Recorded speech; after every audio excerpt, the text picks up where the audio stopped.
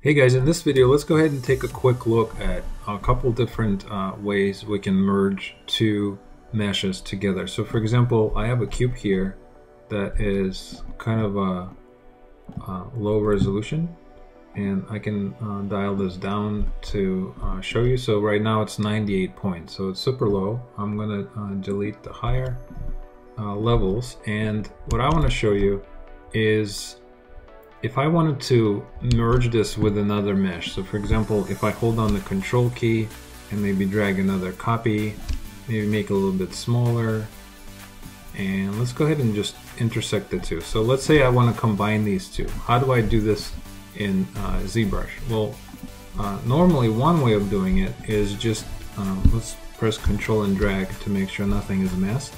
So normally what you do is you click on Dynamesh and that will merge the two together, right? So currently we have 196 uh, points and you can see what that looks like.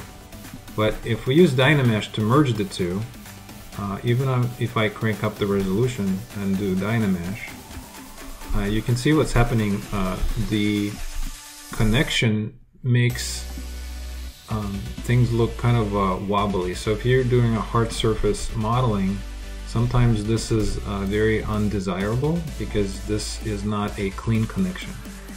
So what would be a uh, another way of doing a clean connection uh, between the two?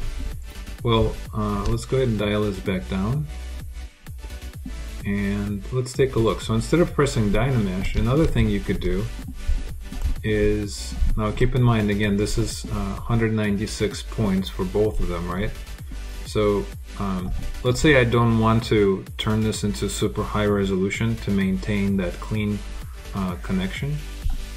Uh, so another way of doing it is you can go to move, go to uh, settings, and then go to remesh by union.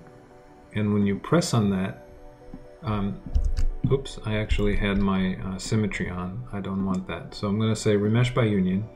And you can see that uh, the connection has been made between the two and it's still uh, maintaining its lower resolution. So now I have 194 uh, points. But if I turn this off, you can see how clean the connection is. It didn't do any of that wobbly stuff. And if you want to uh, commit to it, you can just say accept. And now these two boxes are actually one uh, solid mesh with the connection that looks like this. But the cool thing about using um, this approach is that your lines will maintain their sharp, clean uh, look. And this is great for uh, hard, uh, hard surface uh, things like robots and spaceships or any, any, any hard surface where you don't want things to look super wobbly and sort of uh, messy and unpredictable.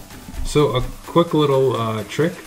Uh, I hope you enjoyed this video. Thank you for watching. Please subscribe and I'll see you next one.